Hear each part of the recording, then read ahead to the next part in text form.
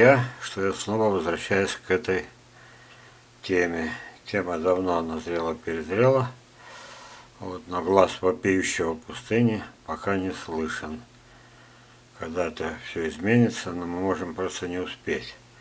Почему такое странное название?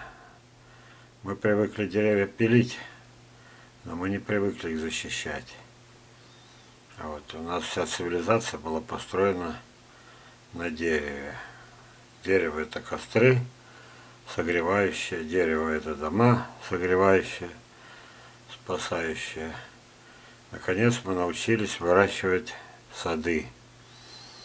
Вот. И однажды в нашей стране один из маленьких примеров. Да, деревья миллионами уничтожали, потому что проходящая армия пилила яблони, абрикосы, чтобы, да, сделать костер и согреться. Это еще можно было как-то понять. Чаще просто шли танки, шла кавалерия. Горько было, но было горечь и в мирное время. Я бы не стал э, к этой теме еще раз возвращаться, но у меня было, когда я много-много печатался в бумажной литературе, журналах, газетах, дважды мне написали горькую, горчайшую правду. Во времена, когда Хрущев сказал в нищей России, заплатите налог за каждое плодовое дерево. Представляете? Вот этот подонок, не за, подумавший ни о чем, ни, ни, ни, за, ни за чем, ни за что, вот, принес огромное горе. И вот у меня в письмах было два случая инфаркта смертельных, когда рубят деревья, пожилые люди, которые когда-то эти деревья, наверное, сами и посадили, умирали от горя. Вот. А теперь представим себе, что мы вырастили поколение, причем, которые умеют садить не только то, что принято.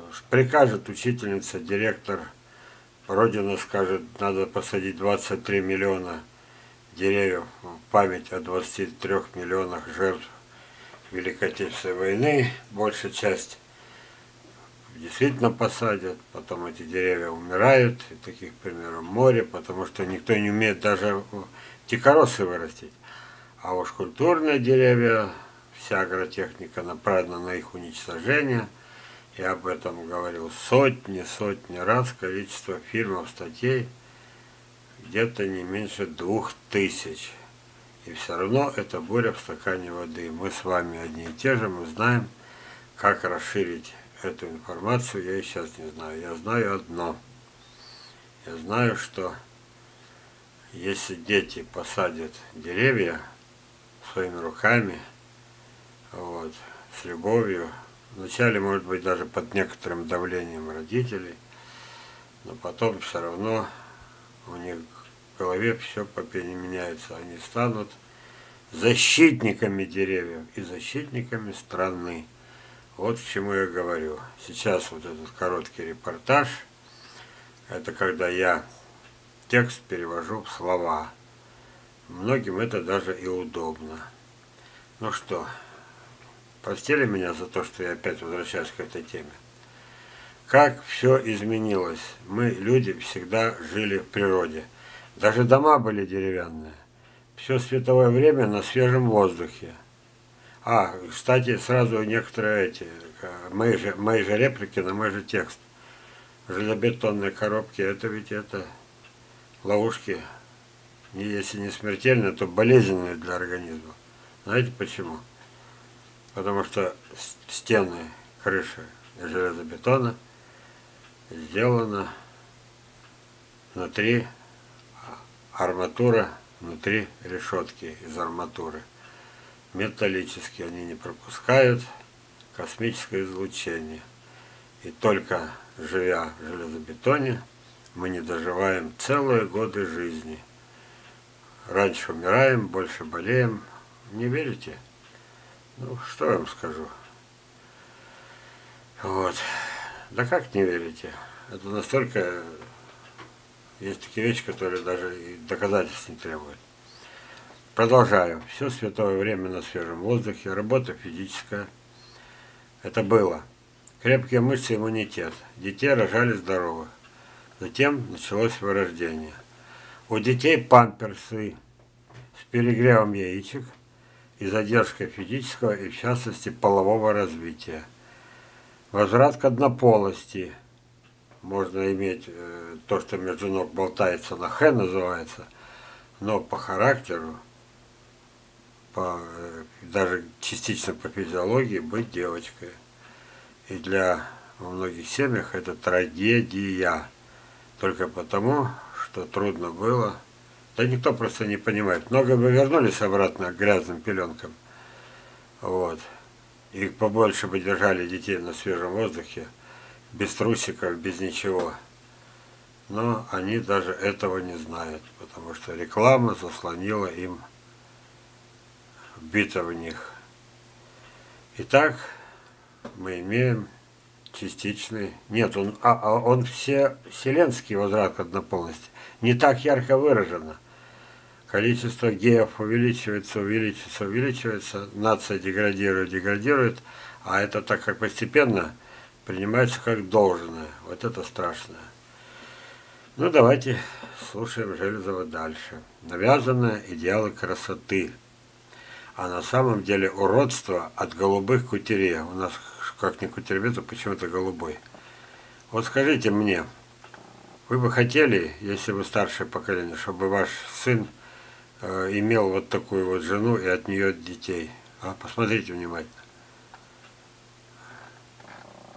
Финал гендерного воспитания – возврат к однополости и гибели европейской цивилизации. Это будет Скоро уже мужчины запоют. А у меня самая-самая-самая красивая. Опа!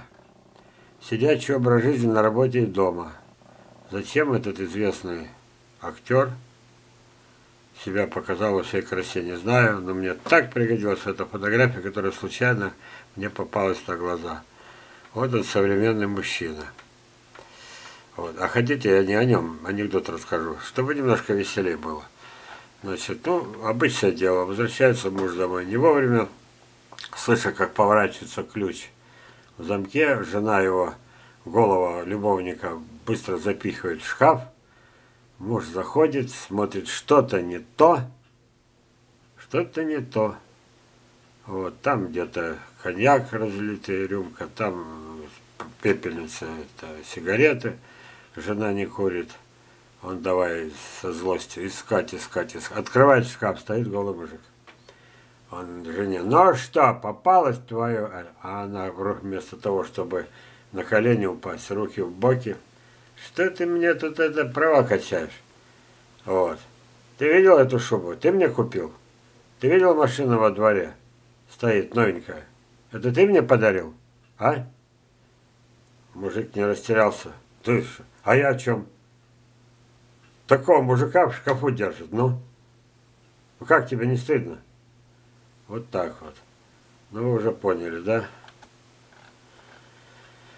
Надеюсь, поняли. Пустые площадки и стадионы. Вот эти мои двое малышей, мои внуки, за всю зиму, а я показывал кучу вебинаров, эту площадку прям показывал, показывал, она пуста всегда всю зиму пуста. И стадион, куда мы с ними ходили, там тренажеры, достаточно э, толковые, современные. И там никого, и куча фотографий пусто. Вот. А у них там должны между ног развиваться мужчина. А я, Железов, бессилие могу вырастить здоровыми только несколько детей из миллионов. Помогайте. Не мне, себе. Вот. вот я вам показываю немного фотографий. Вот так рос ребенок. Вот так он закалялся. Четырех лет, четыре года было, когда я его одел себе на шею, то есть он как на загревок, на загревок, он меня крепко обнял шею руками, сидя на загребке, и я зашел в январе месяце в Енисей, вот в такой же форме, как и здесь. плавочках. Вот. И с тех пор и до сих пор он гордится тем, что он чуть ли не самый юный морж в Черногорске, это уж точно. Вот. А это уроки природы. Это один из законов, я о рассказывал, природы, как вода поднимается на высоту 100 метров. Та самая вода, которая под давлением 10-11 атмосфер, это самые высокие деревья, должны были деревья расплющить в лепешку, а из нас сделать просто блин толщиной миллиметр из любого человека. А она ничего. Вот. Там в других местах мое открытие, а это я показываю ребенку чисто практический опыт. Природа его использует, о чем ученые как-то до сих пор не догадываются, а вот я его еще использую в быту, а потом я ему объясню. Вот когда у дерева э, отрезают ветки, вот это вот сосудистое соединение прерывается, начинаются болезни, и избави вас Бог от этих проблем калечить деревья, а потом их же опрыскивать, еще не совсем умершие, травить, травить, а потом еще и себя, если, не дай бог, они дадут урожай. Вот, вот она подготовка. Вот она походы в тайгу и как надо не допустить пожара. И вот первая учеба. Вот она, Сибирка дикая в тайге. Самое интересное, да, до, до, до деревни километр, а это не дикарь, я оговорился, это не дикарь, это сибирка, но это потомок сибирки. Она сюда попала, и видно, что она полукультурная. Будем следить. Вот мой ребенок учится. Это а, первое яблоня, ой, первый черный абрикос, первое дерево, которое посажено им. Вот. Два э, коробка спичек нашла бабушка у него в кармане однажды и пришла в ужас. Представляете, у ребенка вот такого вот, ему тогда было лет семь. Вот. Что я сделал? Я заставил ему поджечь по одной все эти два коробка. Он, он плакал, он ныл, надоело, а я чуть ли не пожег себе пальцы. Я говорил, давай, давай, давай, давай, еще, еще, еще, еще, еще. Для чего? Чтобы ему надоело до тошноты, чтобы больше не тянуло к этому. Лучше так научить его, потому что первый раз, когда ребенок зажигает, он тут же, и когда он поджигает, он тут же и бросает горячую спичку, куда попало. Секундочку, друзья. Юра, я сейчас э, фильм очередной делаю. Я через пять минут закончу, перезвоню. Ага. Так, это звонил брат, один из тех, кто эти фильмы превращает в, в добротный материал. А я только снимаю и говорю, говорю, говорю. Вот. Первый раз он когда спускался, вроде бы уже чуть ли не спортсмен. И оказалось, что он не может спуститься. Чуть ли не падал. Потом я вверх, вниз, вверх, вниз, вверх, вниз. За один день научился ходить по горам. Вот его работа. Вот его работа. У него на шее этот самый, он собирает черешни. Вот, тренировки. Мы с ним каждый день деремся. Боксерские перчатки одеваем. Вот. А вот это его первые посадки. Посадил, вот сами поливай. Вот. А потом общипывай. Вот. И здесь мозги на свежем воздухе куда лучше смотрятся. Вот. И первые заработки. 20 минут косит 100 рублей. Я, это ему было 7 лет. Сейчас ему 9, а он все только увидит меня с косой. Не из-за денег. Так любит косить. Вот. А вот и работа. Ну что, у меня моргает, это сейчас закончится зарядка, забыл зарядить, начал фильм, теперь жалею, успею ли. Атеизм не наука это закат цивилизации, где в 21 веке просто так бомбят Белград и Донецк, разрывая детей на куски. Вы представляете, люди потом со свечкой стоят в церквях, и те, кто приказ отдавал бомбить, и те, кто бомбовой люк открывал. Представляете? или вернемся мы обратно к вере, или мы окончательно превратимся в животных. Один из немногих на миллион, неискалеченный девичьим воспитанием ребенок Тимоша, который ест неотравленные фрукты, он уже с первых дней жизни растет мужчиной. А его крестного отца и дядю Сергея Железова, вот он. Я вырастил в саду. Я реалист. Против золотого тельца нет приема. Когда-то комфортное состояние, сытость и покой надо было заслужить тяжелой работой и рисками. Как спасти цивилизацию в зоне комфорта? Предложить то, что заставит человеческий организм стряхнуться и оторваться от стула и дивана. То есть разбудить дремлющие инстинкты земледельцев. Они есть, они сидят в каждом из нас. А для этого исполнить когда-то несбыточную мечту, наконец-то дать и навязать земельные участки. Бесплатно, да еще с всякими льготами. И не просто бесплатно, могут не взять, деградация воли, а навязать всем-всем-всем. Заключенным, как альтернативу вонючим камерам и туберкулезом. Пусть бы уже там с лопаты отбывали срок. Неужели не согласятся? Военным, чтобы было что защищать студентам агровуза с первого дня учебы и для учебы, и навсегда. Получили участок, вырастили сад, сдали экзамен, получили настоящий диплом, а нет бумагу для туалета. Нет, для туалета даже не годится лощеная бумага. Даже там не годится. И потом навсегда это останется для них. Список продолжите сами. Это выгодно государству, исчезнут очереди в поликлиниках и больницах. Неужели непонятно? Это вам не вонючие квартиры. Перестанут дышать отравленным воздухом вонючих городах дети и старики. Работа в саду облагораживает души. Будет принят закон, приравнявший убийство дерева к убийству человека. И вот наша страна станет обществом десятков миллионов собственников земли.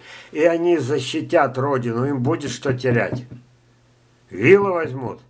Каждый будет иметь у себя в сейфе охотничье ружье, а к нему сотня картечин. Подойди, хоть китайцы, хоть американцы. Вот кто защитит. Земледельцы и землевладельцы защитят Родину.